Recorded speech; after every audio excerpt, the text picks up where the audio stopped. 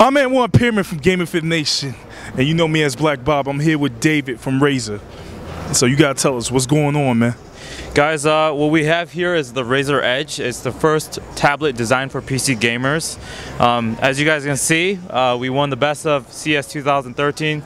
We're very excited, and uh, you know we should be because what we have here is you're not seeing a typical tablet, guys. You guys are seeing a tablet that runs on an Intel Core i7 processor with a dedicated NVIDIA GT640M graphics card.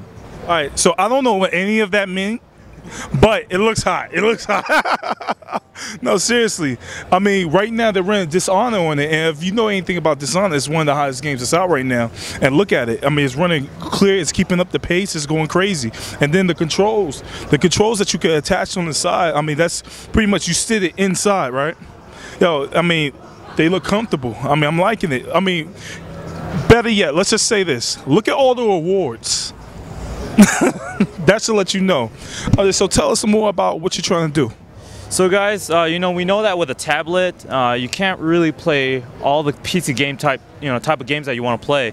I mean, yeah, you could play Angry Birds, and you know you could do Angry Birds on here too. But you know, Razer, we're all about gaming, and you know about hardcore gaming. So you know we wanted to bring able, you know, we wanted you to be able to have a fully win, uh, operating Windows 8 operating system on a uh, tablet form factor. So what does that mean? That means you guys can play, you know, Steam type games. You can play your Origin games all within this tablet. So as, as he was mentioning, you know, right now we have Dishonored playing and it's running, you know, very smooth. There's no uh, there's no issues. Uh, really good graphics. You're you're seeing a 1366 by 768 resolution. So.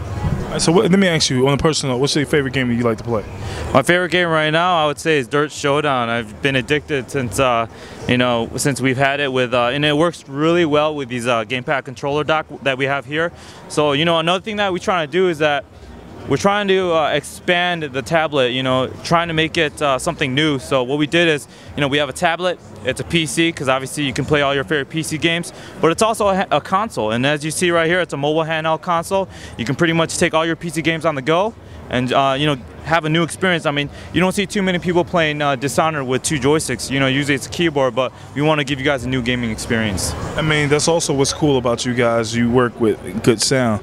Like, so, I mean, how does that play in effect with um, what you're trying to do with the tablet? Do you, I mean, does it any effect? Like, does it amplify the sound or anything? Yeah, it does. You know, uh, sound is key, obviously, when you're playing a game.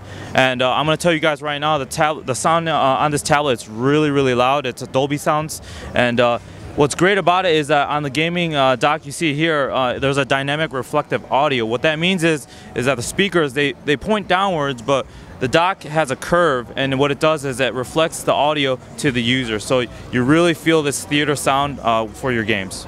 So I mean, what else can you say? My man just said it all. Like, come on, like, come on. Uh, is that the best you could do? Give me it to me. Yo, I'm GamerFitNation's and one Pim, also known as Black Bible. Peace out.